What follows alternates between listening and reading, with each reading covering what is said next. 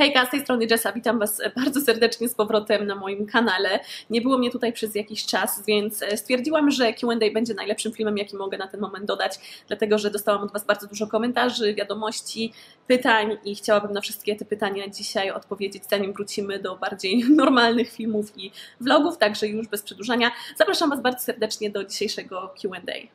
I mam w ogóle nadzieję, że jest jeszcze tutaj ktoś, kto chce oglądać moje filmy. Jeśli tak, to zostawcie łapkę w górę i komentarz. Na pewno bardzo się ucieszę. Hejka, dlaczego nic nie nagrywałaś cały ten czas? Oczywiście to pytanie musiało pojawić się na samym początku tego filmu.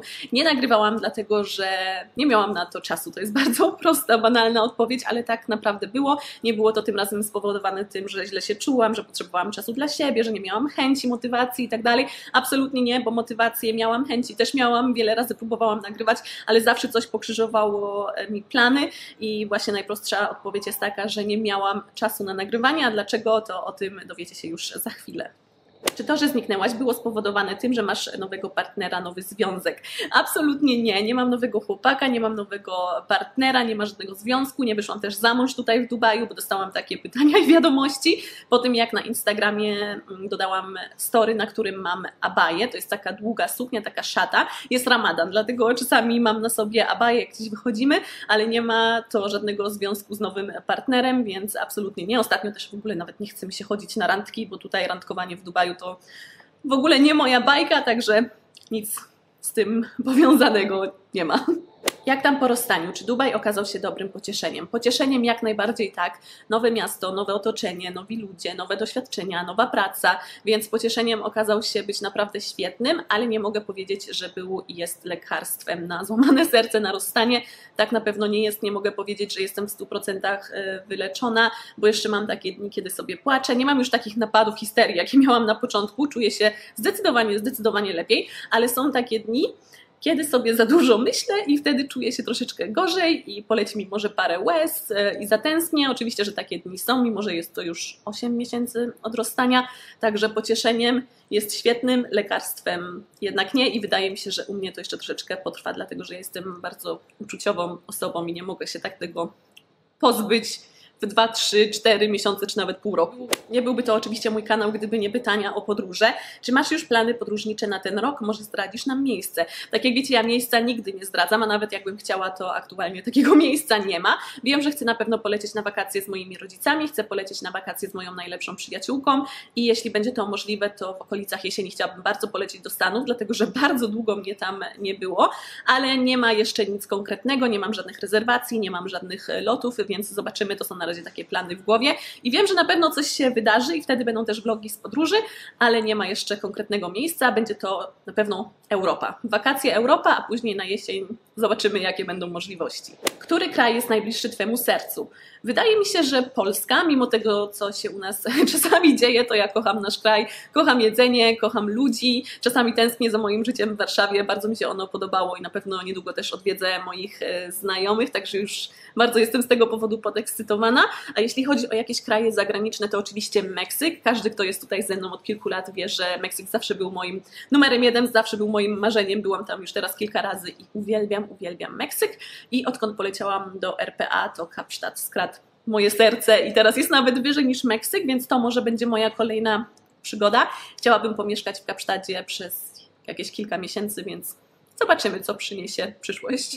Planujesz wrócić do vlogów na YouTube? Tak, oczywiście, że tak. Ja cały czas planowałam i cały czas chciałam, bo jestem w super miejscu. Dzieją się w moim życiu fajne rzeczy i jakoś zawsze było nie po drodze, aby coś nagrać. I tak jak mówię, nie wiem, czy jest jeszcze ktoś tutaj, kto chce te vlogi oglądać, ale mi teraz akurat siedzenie przed kamerą, powiem szczerze, że sprawia mi przyjemność i bardzo się cieszę, że w końcu usiadłam, że w końcu mam taki moment, aby coś nagrać, więc e, trzymam kciuki, że przez następne kilka tygodni z Dubaju pojawi się jeszcze kilka vlogów. Jaką pracę wykonujesz w Dubaju? Tych pytań było najwięcej, dlatego że każdy każdy, kto obserwuje mnie na Instagramie, wie, że zniknęłam właśnie dlatego, że nie miałam czasu, bo podjęłam nową pracę. Także jeśli nie obserwujecie mnie na Instagramie, to zapraszam Was bardzo serdecznie.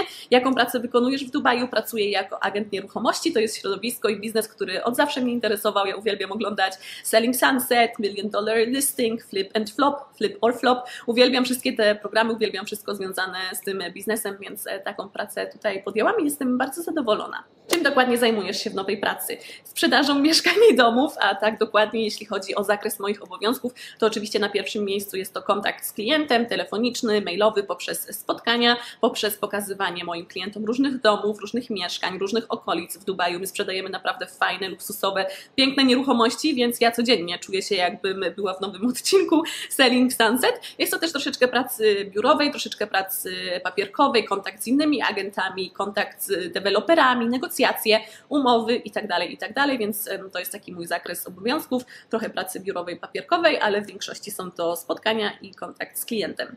Czy klienci Cię podrywają i jak się z tego wykręcasz, żeby zachować poprawne relacje biznesowe?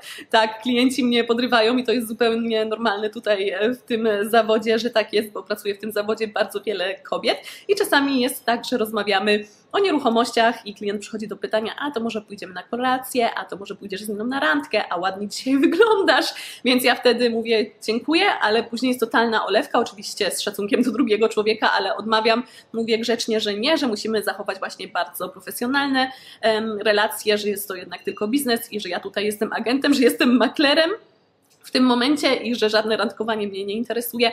I każdy mi to też mówił, że właśnie reputacja twoja, niestety w szczególności jeśli jesteś kobietą, to musi być bardzo dobra, nienaganna i nie możesz sobie pozwolić na żadne randkowanie z klientami, nieważne jak bardzo by ci się klient podobał, ale na szczęście jeszcze nie było żadnego takiego klienta, który bardzo by mi się spodobał, więc nie miałam absolutnie żadnego problemu z odmawianiem. Można w Dubaju dostać pracę bez doświadczenia, na przykład w nieruchomościach. Oczywiście, że tak. Ja jestem tego najlepszym przykładem, dlatego że ja nie miałam żadnego doświadczenia, jeśli chodzi właśnie o to środowisko, jeśli chodzi o nieruchomości. Zaczęłam zupełnie od nowa. Musisz być po prostu osobą bardzo komunikatywną, kontaktową, musisz mieć dobre podejście do klienta, być dobrym sprzedawcą i mówić w minimum dwóch językach, i wtedy masz bardzo dobre szanse, aby taką pracę dostać. Jak ci idzie sprzedaż nieruchomości? Czy jest to sprzedaż kilku mieszkań miesięcznie? Niestety nie. Sprzedaż kilku mieszkań miesięcznie to jest bajka to jest marzenie i to udaje się tylko takim najlepszym top agentom.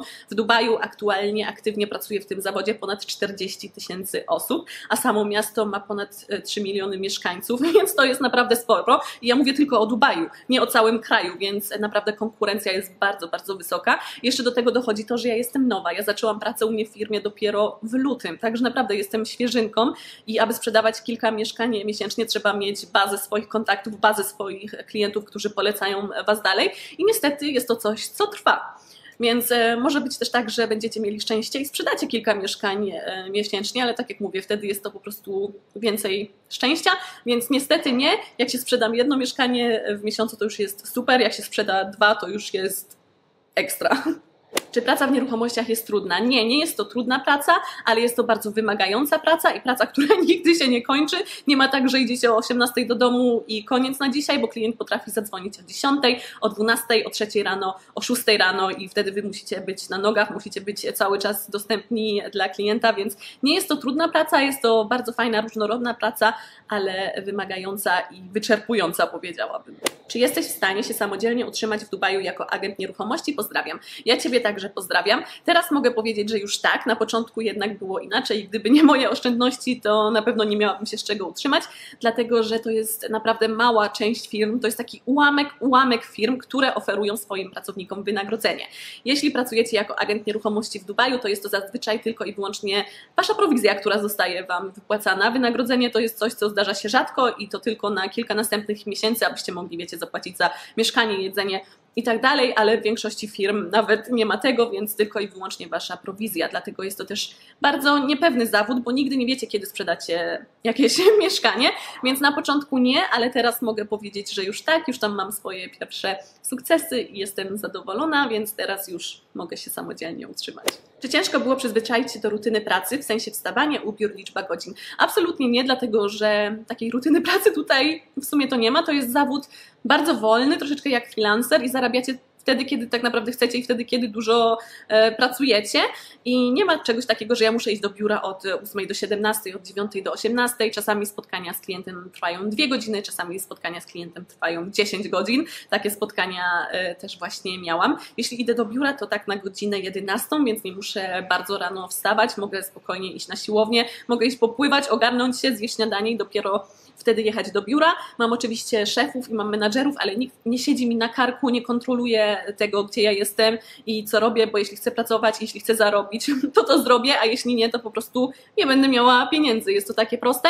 Jeśli chodzi o ubiór, to oczywiście musi teraz być bardziej profesjonalny, bardziej biznesowy, ale też nie mamy za bardzo takich większych ograniczeń, jak ja idę do biura i widzę dziewczyny, u mnie w firmie pracuje 30-40 dziewczyn i one zawsze mają zrobione włosy, zrobiony makijaż, biżuteria, piękne sukienki, jakieś garnitury, komplety, zawsze na szpilkach wyglądają super. I tak jak już mówiłam w tym filmie, ja jak wchodzę do biura, to czuję się jakbym była w jakiejś agencji dla modelek, a nie w agencji nieruchomości i czuję się jakbyśmy nagrywały serial o nieruchomościach dla Netflixa, dlatego że dziewczyny wyglądają naprawdę Świetnie. Jak Ci się mieszka w Dubaju i na jak długo planujesz zostać? Zostaję w Dubaju jeszcze przez kolejne 3-4 tygodnie. Na początku czerwca lecę do Europy na całe lato, dlatego że tutaj będzie troszeczkę za gorąco i też wiem, że biznes już nie będzie taki, jak jest teraz, bo będzie zdecydowanie mniej turystów, więc stwierdziłam, że całe lato chcę spędzić w Europie. Bardzo tęsknię za moją rodziną, bardzo tęsknię za moimi znajomymi. To jest chyba najdłuższy czas, kiedy nie byłam w moim rodzinnym domu od pół roku. Nie wiem nawet, kiedy ten czas zleciał,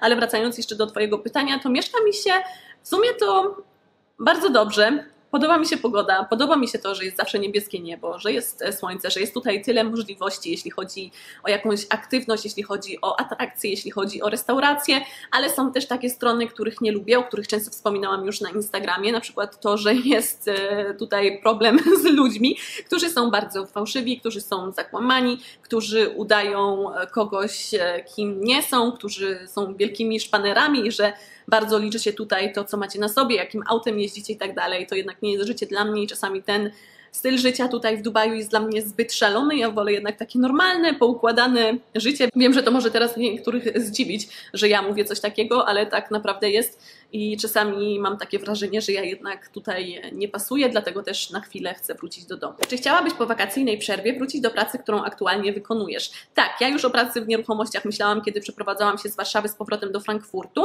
i to właśnie tam chciałam podjąć taką pracę, ale potoczyło się to wszystko zupełnie inaczej. Przyleciałam na miesiąc do Dubaju na wakacje i już tutaj zostałam, podjęłam tutaj taką pracę. Ja w ogóle tej pracy nie szukałam, ja nie aplikowałam na żadne stanowiska, tak na marginesie. Ta praca znalazła mnie, to był czysty przypadek i ja czasami śmieję się, że muszę po prostu napisać o tym wszystkim książkę, co tutaj wydarzyło się w Dubaju, bo pracuję teraz dla najlepszej agencji nieruchomości, która jest tutaj od lat, jest numerem jeden, więc naprawdę czasami nie wiem, jak to wszystko się wydarzyło, był to przypadek i wszystko potoczyło się tak e, szybko. Więc jeśli chodzi o tę pracę, to chciałabym wrócić, dlatego że bardzo podoba mi się praca w nieruchomościach. Jest to coś, co mnie interesuje, jest to coś, co sprawia mi przyjemność i jest to coś, e, gdzie szczerze można bardzo dużo zarobić, więc czemu nie?